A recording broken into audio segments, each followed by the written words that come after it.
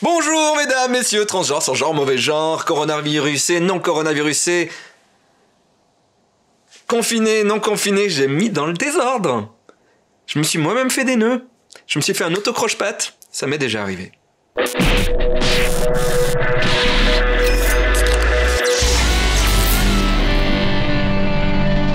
Bienvenue dans Bad News, la seule émission qui affirme ne pas vérifier ses sources. Je vous rappelle que Bad News, c'est l'émission de l'autre actualité. On n'est pas là forcément pour rire, mais on est là pour faire un état des lieux de l'humanité. croyez-moi, on a une belle brochette de de confinés et comme Philippe qui est confiné à la maison qui nous a fait une vidéo une vidéo de cuisine alors euh, si vous avez un peu faim euh, attention hein, parce que après une vidéo comme ça vous allez avoir la dalle hein eh bien bonjour à tous ce tuto confinement numéro 1 comment couper grossièrement un oignon.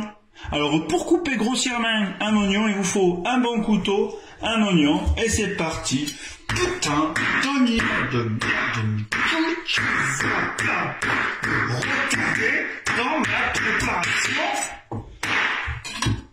Voilà, bonne journée à tous et à bientôt. Merci Philippe, sache que je cuisine comme toi, putain de ta mère. Quoi le... le... ma... Ah Une moustache oui, oui, mais ça c'est pour, euh, c'est parce que c'est pour Bad News ça. On passe tout de suite à la Bad News d'Adrien. Ça se passe à Annecy et les douaniers bah, vérifient les envois postaux.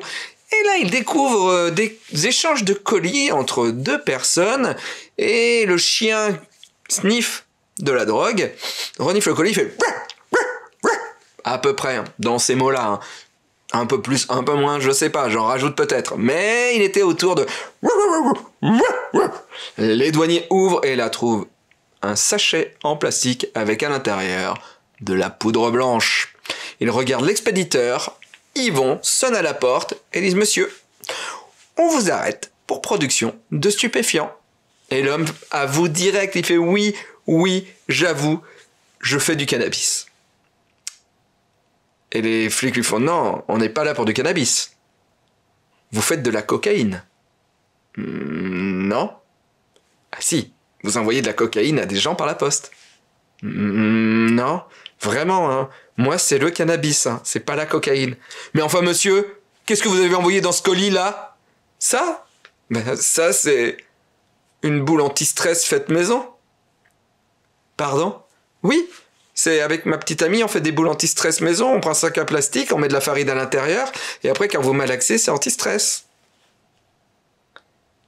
La police a analysé la poudre, et effectivement, c'était de la farine. Le chien avait senti le cannabis, pas la cocaïne. L'homme s'en tire avec une amende de 150 euros. Quand t'arrêtes pas de fumer du cannabis, t'envoies pas par la poste des sacs avec de la poudre blanche. Non. Merci d'avoir suivi Bad News. À demain. Pourtant que la montagne est belle, temps imaginaire.